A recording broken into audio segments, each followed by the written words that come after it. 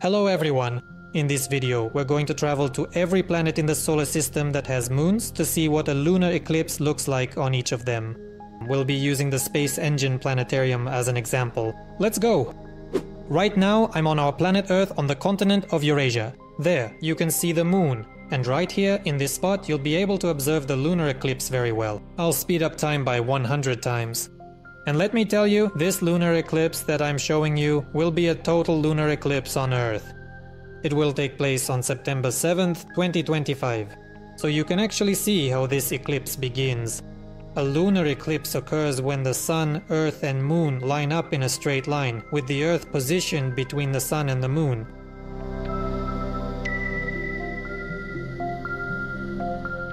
And here you can clearly see the phase of the total lunar eclipse.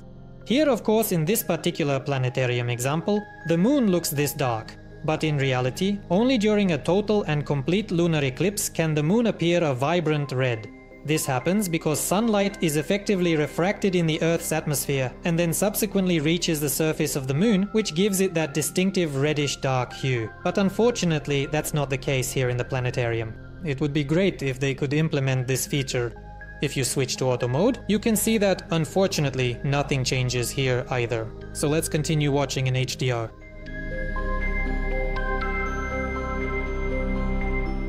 And just like that, the moon is now fully and completely revealed, and the eclipse then ends. Let's head to the next planet. This time it's the planet Mars. We won't be traveling to Mercury or Venus because they don't have any moons. Obviously, a lunar eclipse is impossible there. But Mars has moons like Phobos and Deimos. So let's take a look at a Phobos eclipse. I'll switch to automatic photo mode and as you can see, Phobos is already in Mars's shadow. So we can already watch the eclipse. Now let me rewind time a little bit. And look, you'll see it light up. This is the moon Phobos. There, see, it just lit up. So let's pause it like this and take a look at this. The light from Phobos and now it's about to enter Mars's shadow and simply disappear. That's the moon in the sky. Let's watch this. It glows and then bam, the light vanishes. I rewound time again and now let's zoom in there and I'll show you in detail. We're running at 1 second per second so it's real time mode. There's no need to speed it up too much because first Phobos is very small and second it's very close to the planet and it orbits Mars very quickly and now the eclipse should be starting any moment. The eclipse is starting, you can very clearly see for yourself how Phobos' brightness slowly begins to fade and it looks so truly unusual and quite magical. In general, lunar eclipses are really quite fascinating indeed. And now Phobos has completely disappeared. Now Phobos is just starting to come out of Mars's shadow. That's what a lunar eclipse looks like on Mars using Phobos as an example. Yes, it stayed in Mars's shadow for quite a while, we really had to wait. So that's basically how it is. Next up is Jupiter, let's fly over to it. Here you can clearly see its four main moons. Now I'll speed up time and we'll see which of these moons will be the first to enter Jupiter's shadow. Okay, stop, there it is. That's Io. Well, let's take a look at Io then. So I'll descend to the dark side of this gas giant right into its upper atmosphere. Io is right over there. I'll zoom in with the telescope and let's see what a lunar eclipse looks like using Io as an example. Time is sped up by 10 times and meanwhile the eclipse has already truly started. Wow, it looks quite amazing. Right in the shadow zone we can already see active volcanoes on Io and the eclipses are really fascinating.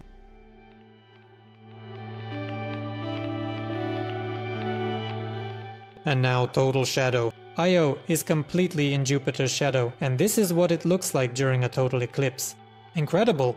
I'll also turn on the automatic photo mode. This is how everything looks in this mode. Switching HDR back on. Time has passed and finally Io is starting to come out of Jupiter's shadow and our lunar eclipse is ending. and that's how interesting it was. Now let's see which of Jupiter's major moons will be the next one to enter Jupiter's shadow, and we'll watch it as an eclipse as well. Well, I think that's it for now, folks. That's Ganymede, so let's take a look at Ganymede then. Here I am again in the upper layers of Jupiter's atmosphere on the dark side. There's Ganymede over there. I'll zoom in again with the telescope and let's see what Ganymede's lunar eclipse looks like. Ganymede's eclipse is beginning. Ganymede has entered Jupiter's shadow. The time is sped up 30 times. This is how it looks. Well, it seems similar to what happens with the moon on Earth.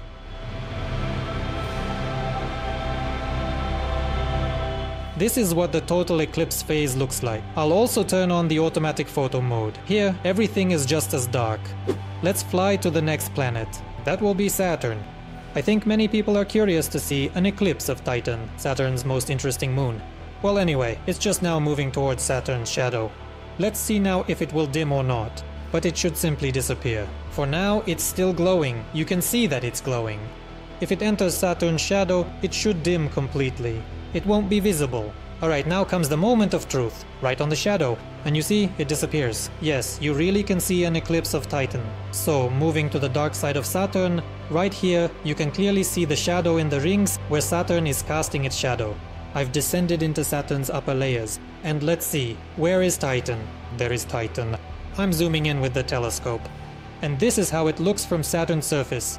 The eclipse is beginning, time in the planetarium is sped up 30 times, and this is how the shadow moves over Titan. Cool, here, Titan already has an atmosphere, and I think it's going to be interesting. This will be an interesting eclipse, not like with the moon, Ganymede, or even Io. Yeah guys.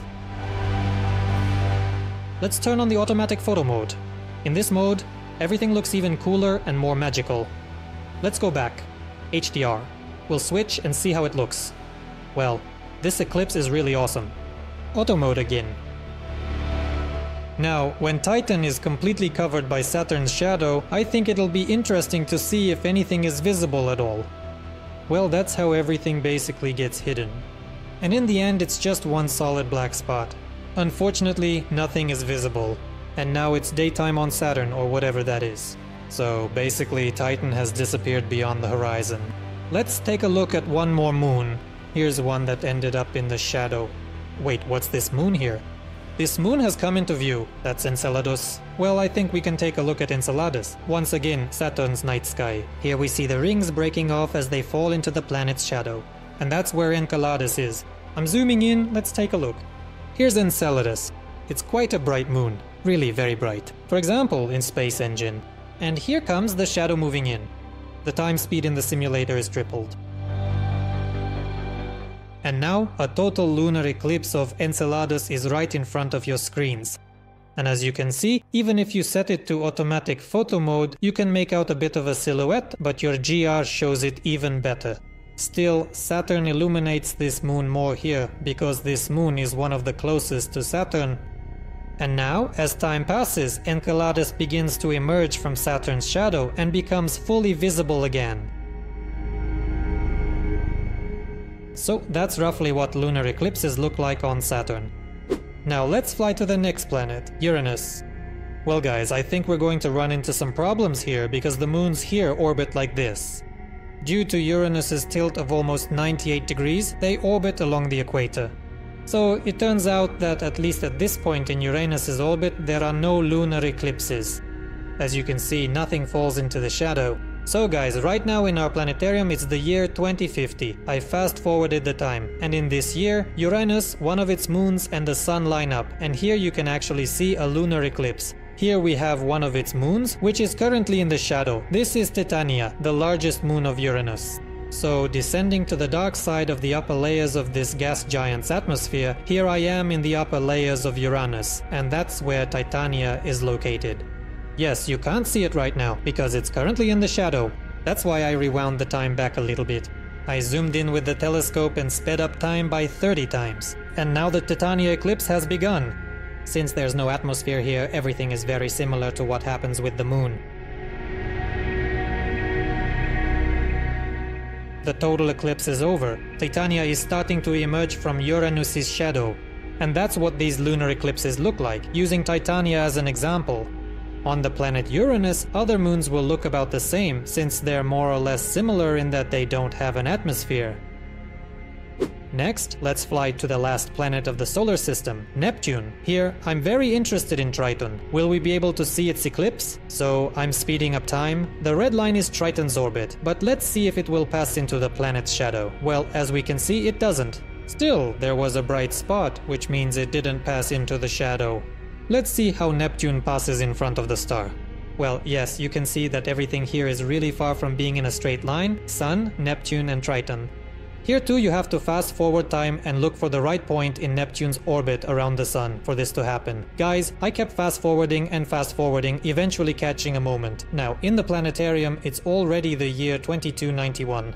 And we see that Triton is completely in the shadow, which means we'll be able to see a Triton eclipse.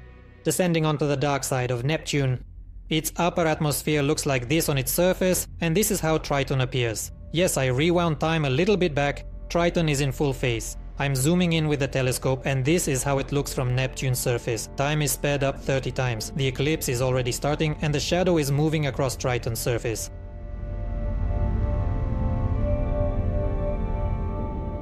Triton has a thin atmosphere, it's denser than that of Jupiter's moons. Alright, let's turn on the automatic photo mode.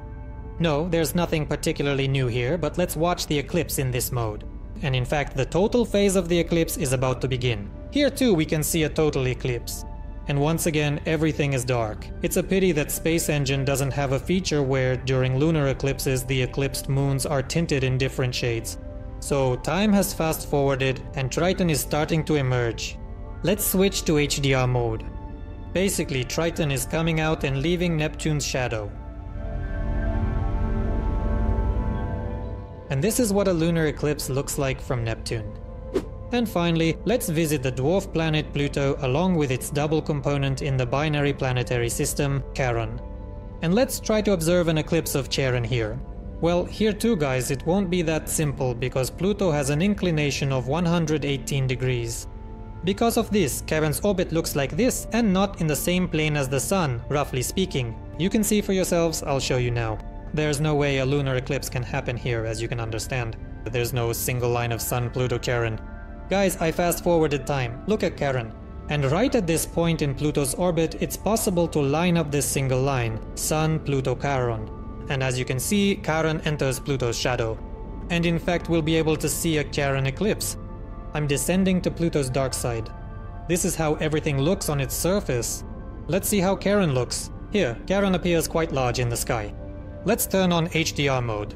Auto mode. Let's leave it on auto. And here you don't even need to zoom in because Charon gets very close to Pluto. Now the eclipse is about to begin, watch closely. Time is sped up 1000 times and here we have a partial lunar eclipse.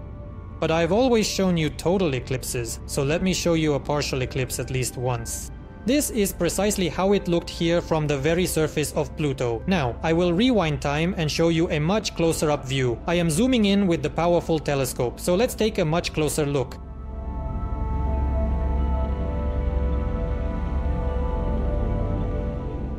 That's the kind of journey we had today. We saw what a lunar eclipse looks like from each planet. If you enjoyed it, please give it a like and leave a comment about which planet's lunar eclipse you liked the most. Thank you very much for watching and see you again in the universe.